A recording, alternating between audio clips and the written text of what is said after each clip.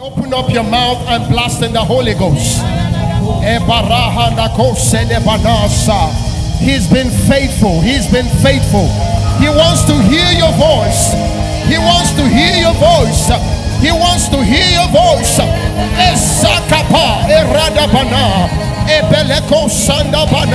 We reverence you.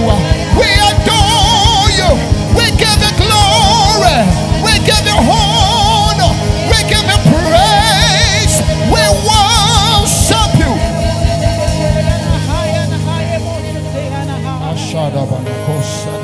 Kosadebaradabanas.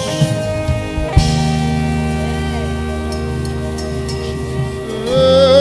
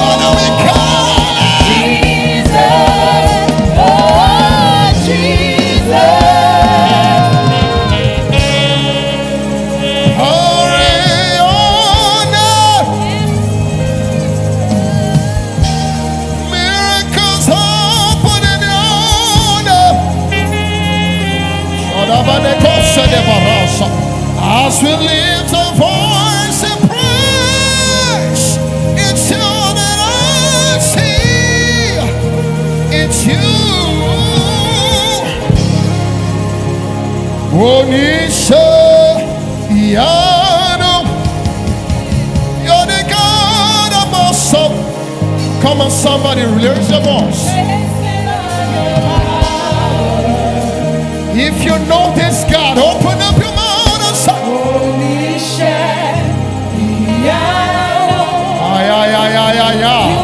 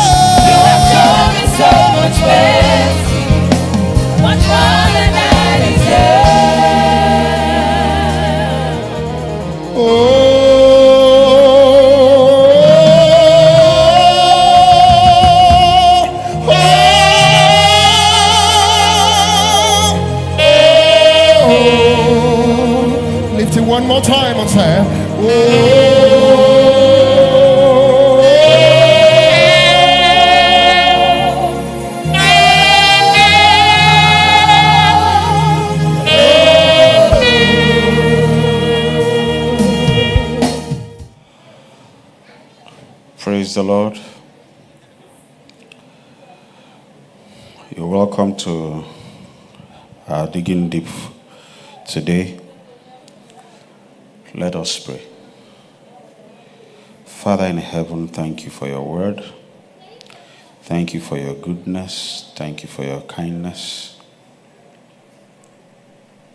As we go through your word today, we ask that you will teach us, open our eyes to the truths that will set us free in Jesus' name. Blessed be your holy name. In Jesus' name we pray. All right. Uh, so, continuing in the theme for the month, uh, talking about Occupy Till I Come, we'll be taking our text from Luke 19, verse 13. And he called his ten servants and delivered them ten pounds, and said unto them, Occupy till I come. Um,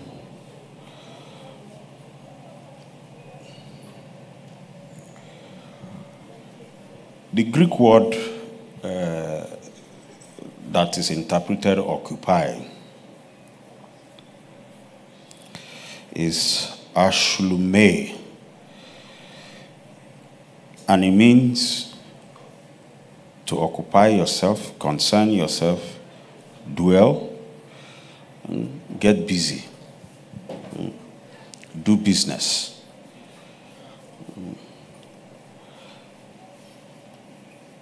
Some other form of the word occupy means to dwell, live, inhabit, reside, populate.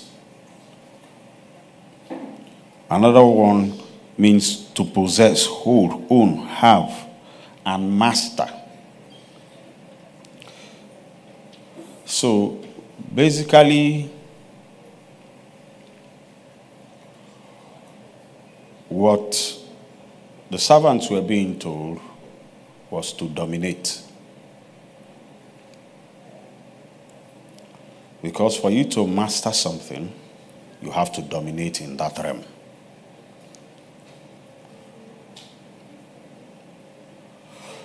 Then we look at it from the military standpoint.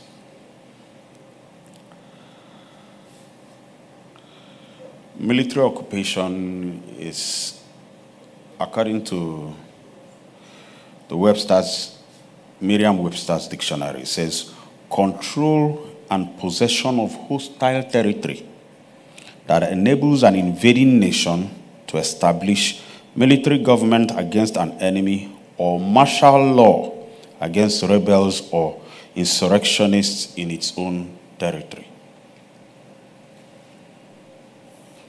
So we look at it from this angle. When the Romans occupied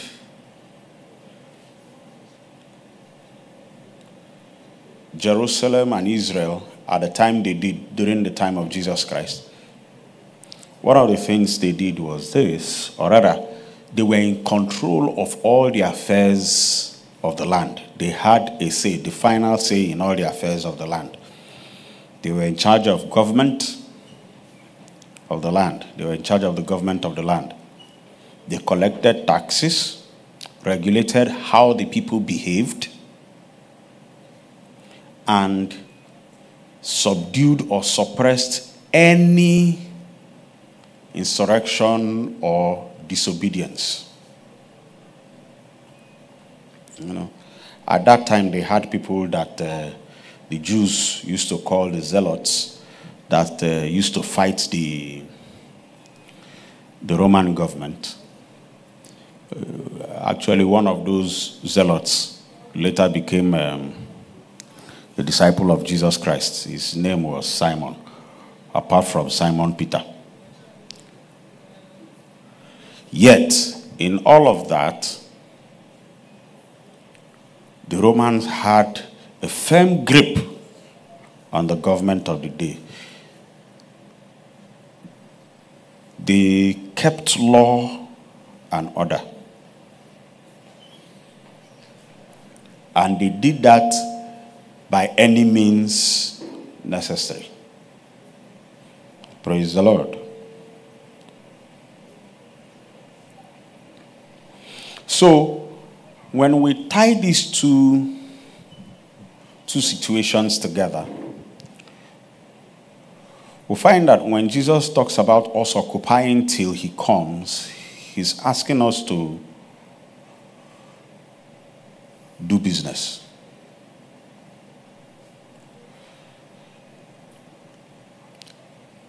Influence how things are done in and around our spheres of influence.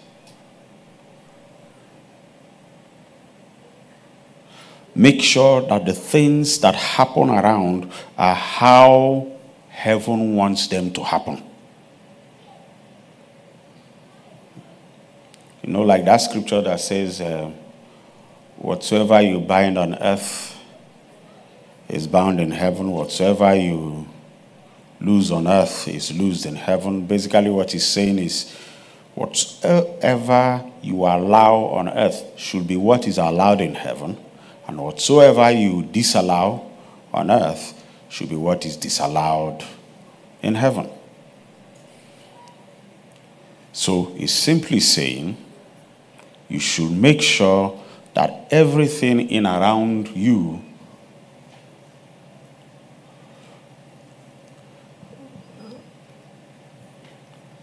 conforms to how God's life is. Praise the Lord.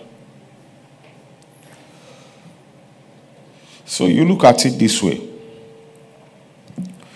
When the master that was uh, talked about in Luke chapter 9, 19 rather, verse 13, he gave them a deposit, some money for them to start trading with.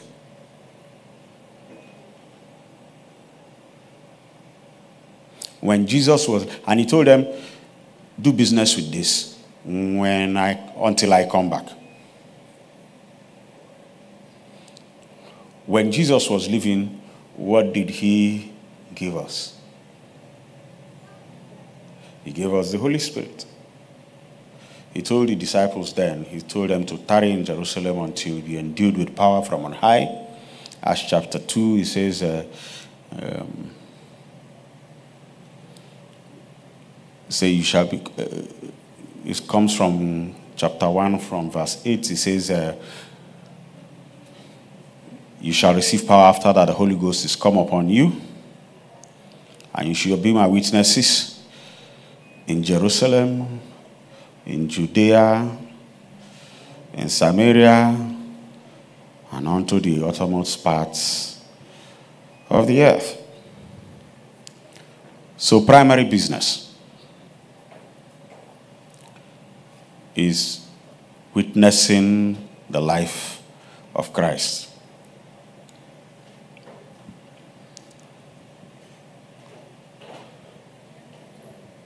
And like we said, the deposit he gave us is the Holy Spirit. You can see that in Ephesians 1 14, where he talks about that this deposit of the Holy Spirit is the assurance that the inheritance we are promised, we will receive it.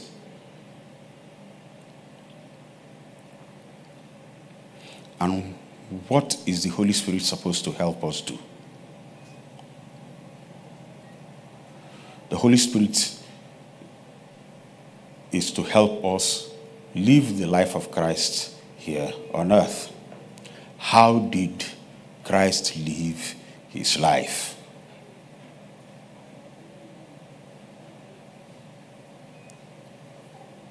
He talked about being about the Father's business.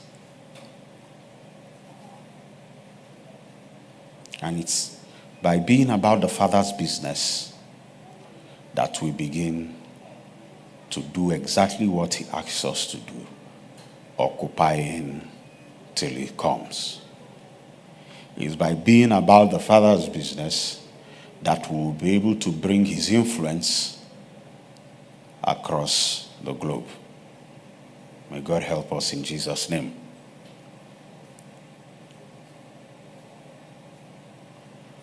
So, the deposits that we are given the deposit of the Holy Spirit that we are given is for us to do the Father's business.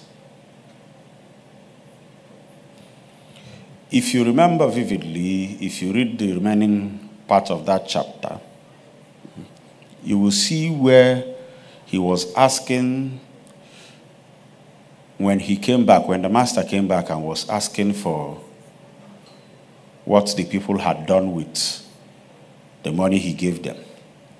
One brother did nothing with his own, he kept it. It goes to show that even if you are filled with the Holy Spirit, except you cooperate with Him to do the Father's business, he will not force you to do it. Praise the Lord. Except you cooperate with Him to do the Father's business, He will not force you to do it.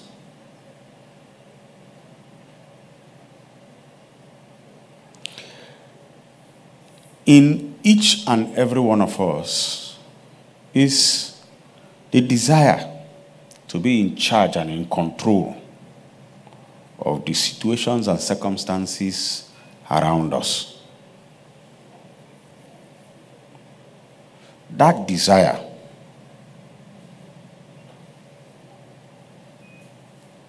can be brought to life if we will cooperate with the Holy Spirit. Because let's begin to understand that the earth as it is, the creation of the earth, the world, was by the power of the Holy Spirit. The Bible says in Genesis chapter 1 mm, In the beginning, God created the heavens and the earth. Then, verse 2, uh, he says, And the earth was without form and void, and the Spirit of God hovered over the surface of the deep. And God said, Let there be light.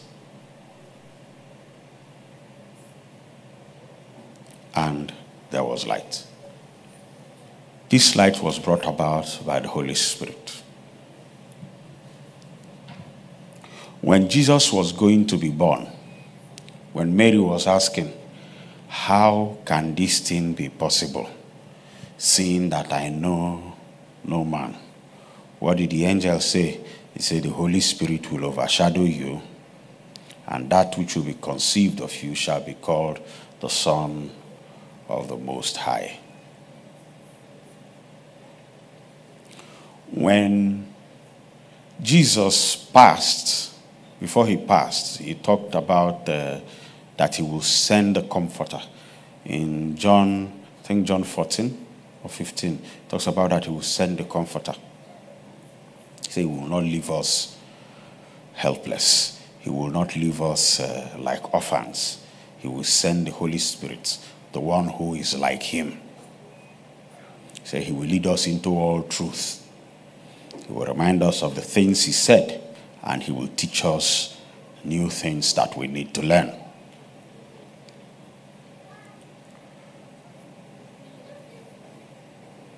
When the Holy Spirit had not yet come, the disciples were hiding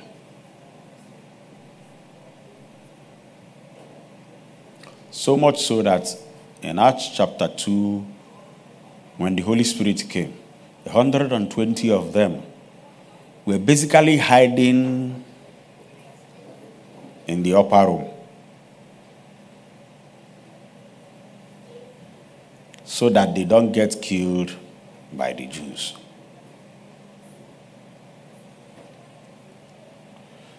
Peter, who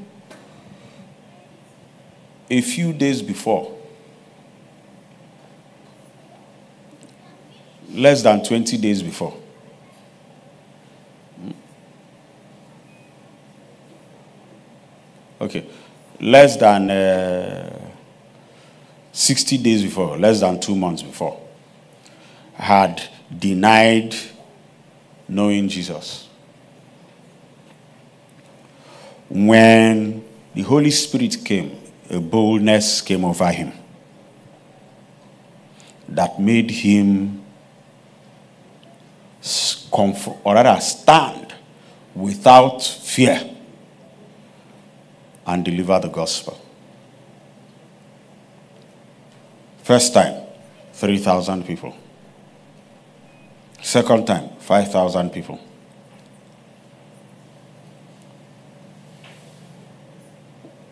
This same Holy Spirit is who we have. And if we will cooperate with Him, He will help us fulfill the mandate to dominate our sphere of influence.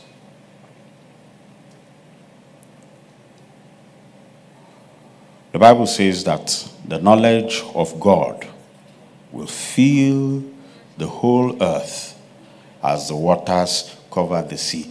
That is what we are called to do. Many a time, a lot of us are scared to preach the gospel because either that we're afraid of ridicule or we're afraid that um, we might meet with violence or persecution. But if we will cooperate with the Holy Spirit,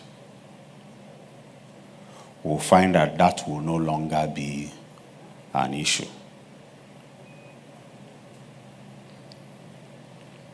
So, my call to all of us today is that we begin to cooperate with the Holy Spirit in order to achieve the dominion mandate of spreading the gospel and dominating until Jesus comes. And God will help us as we do so in Jesus' name. With that, we come to the end of this talk and we'll pray. Father, in the name of Jesus, thank you for helping us this far. We ask that this which you have taught us today, that you help us cooperate with the Holy Spirit to achieve your purposes and plans for the kingdom here on earth. We ask in Jesus' name. Dear Holy Spirit, thank you for being here. Help us achieve all that the Lord wants us to achieve. In Jesus' name we pray. Amen. Thank you, Father. In Jesus' name. So that will be all. See you next week. Thanks for watching today's episode of our special Digging Deep. For questioning on any of our Bible study topics, kindly send a message to WhatsApp only or send a mail to RCCG Temple of God Parish at gmail.com. Such an honor to have you here. This is time.